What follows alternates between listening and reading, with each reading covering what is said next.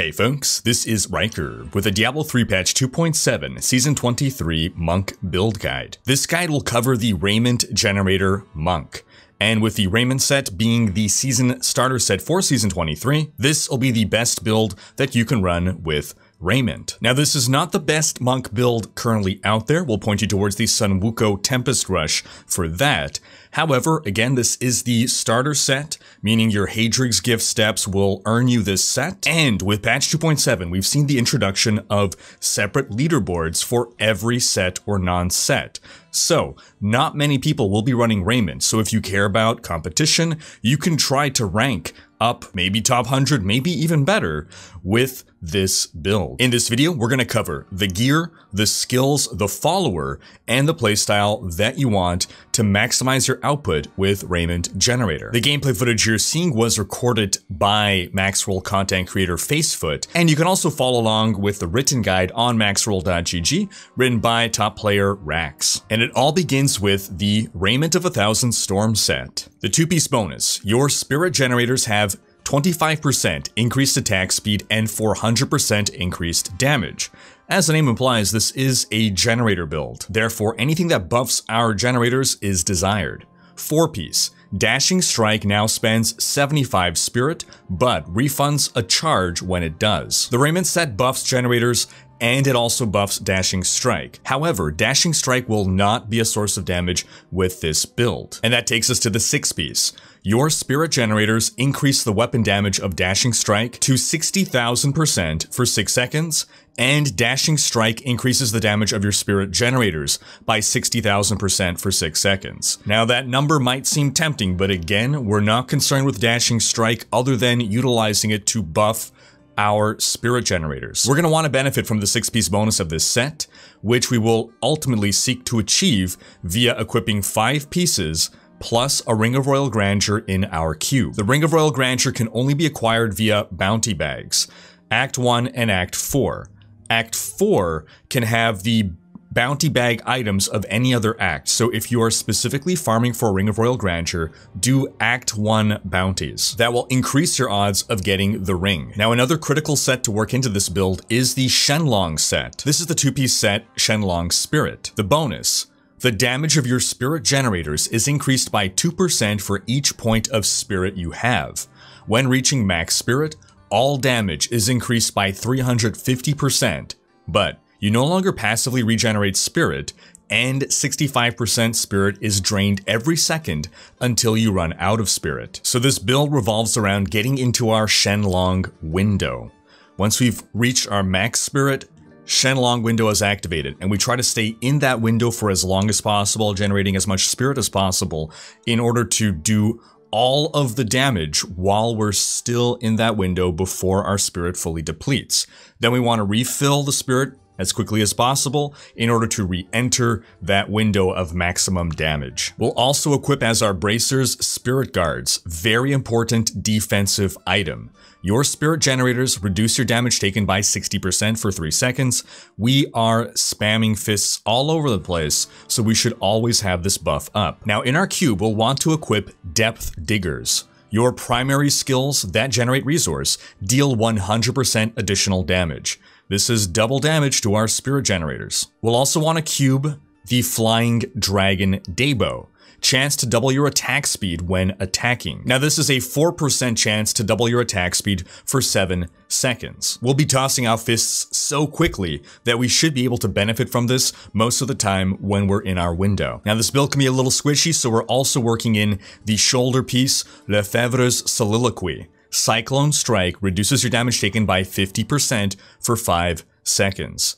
Important defensive buff. We'll also take a Unity, now, we'll cover this more when we talk about our follower, but for now, suffice it to say that for solo play, this will double our toughness. We'll also work in the Endless Walk set, the Traveler's Pledge and Compass Rose combo. While moving, damage taken is reduced. While standing still, damage dealt is increased.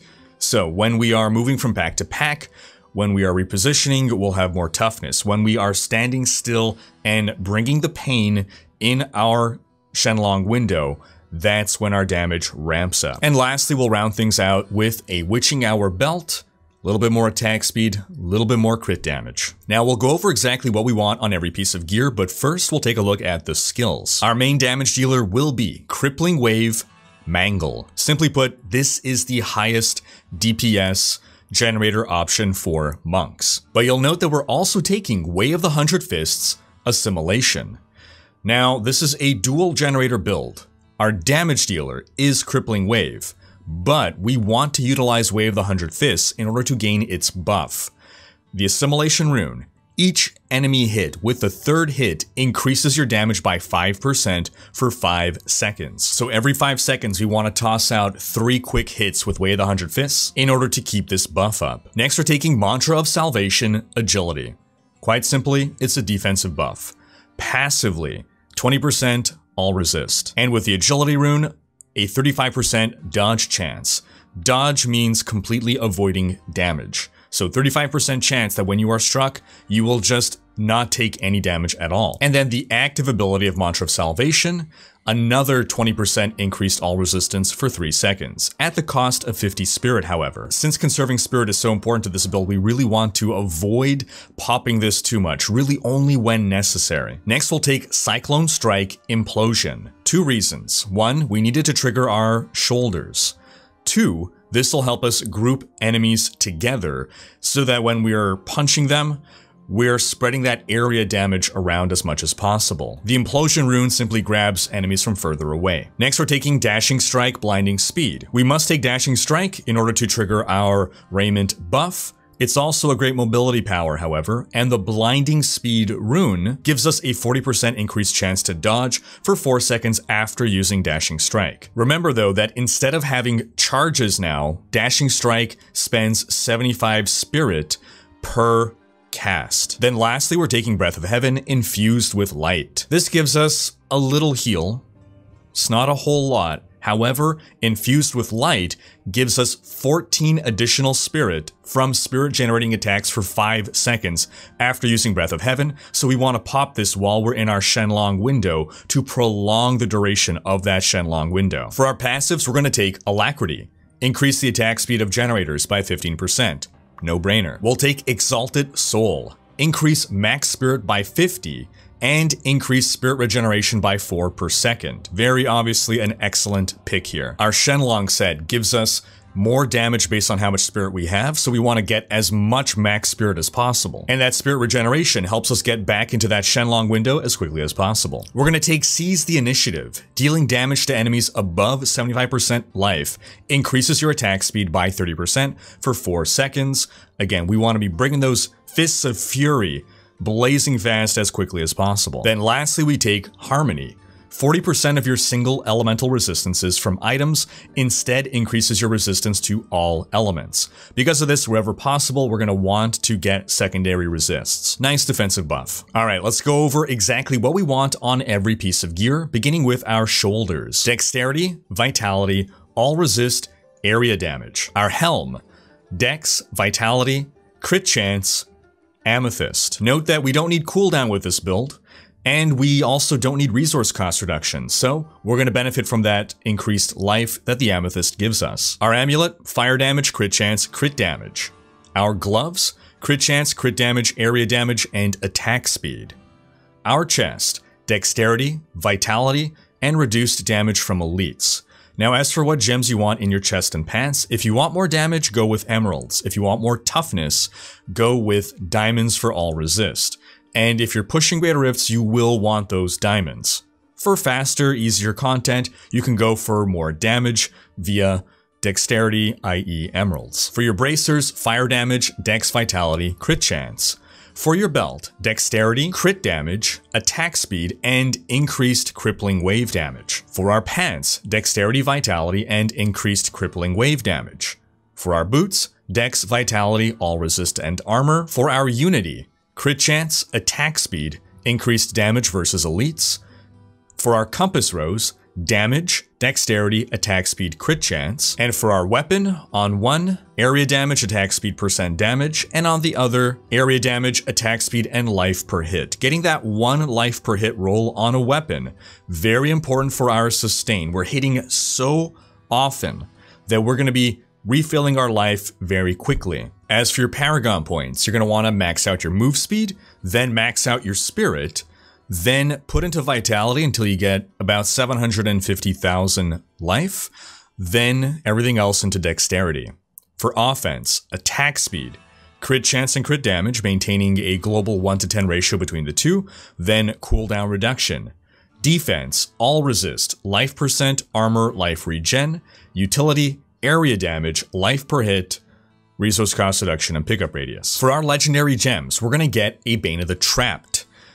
Arguably the best gem in the game. It increases your damage significantly against crowd-controlled enemies, and once you get at level 25, it is automatically emitting a crowd control aura to nearby enemies.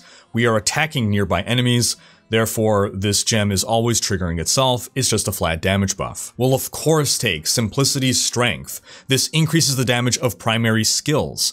And hits with primary abilities heal you for 4% of your max health. This combined with life per hit will give us tremendous recovery. Then lastly, we'll take a Bane of the Stricken.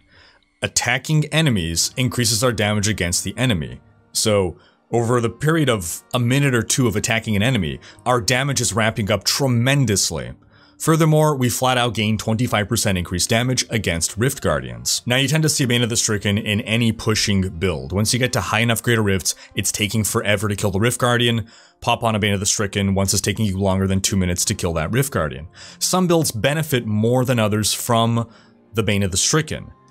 The super high attack speed of this build makes it a build that really benefits from a Bane of the Stricken. For our follower, we're gonna wanna take the Scoundrel. This will help us squeeze out more damage. Now, in D3, monsters build up crowd control immunity. The more you apply crowd controls to them, the more resistant they become to crowd controls. This may or may not be particularly relevant to you, and that may also depend on what build you're running.